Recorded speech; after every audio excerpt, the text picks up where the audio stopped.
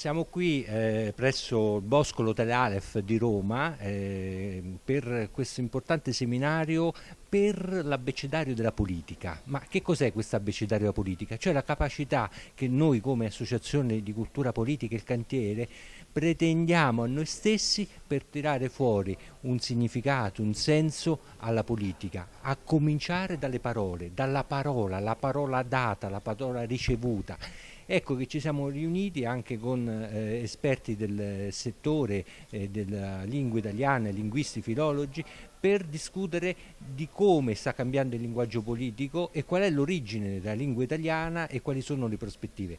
Eh, ovviamente insieme a me c'è qui eh, l'altro socio fondatore del, del, cantiere che è Carlo Prinzoffer e vorrei che lui pure dicesse eh, due parole su questa iniziativa eh, che ci, vede, eh, ci vedrà impegnati per molto tempo. Ma intanto è, è un tentativo, insomma spieghiamo bene, se no potremmo passare per arroganti e presuntuosi, tentativo di ricostruire alcune parole chiave che ridiano significato al dialogo, quindi alla, perché oggi tutti usano questa parola confronto che diventa una lotta eh, tra due che si, sembrerebbe quasi una gara a chi dice più cose. Il problema è che dietro queste molte cose che si dicono in realtà non c'è niente, non ci sono più significati, perché?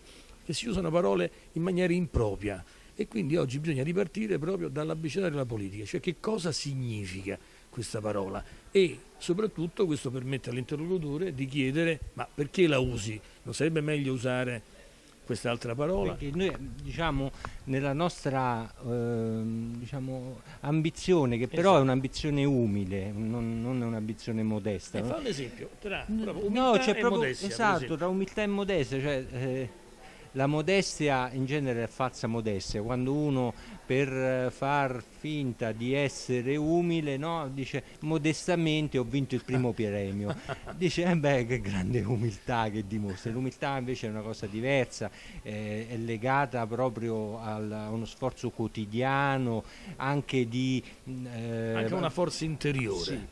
Chi è forte è umile Normalmente chi è debole pretende invece di essere forte attraverso quello che tu dicevi, falsa modestia.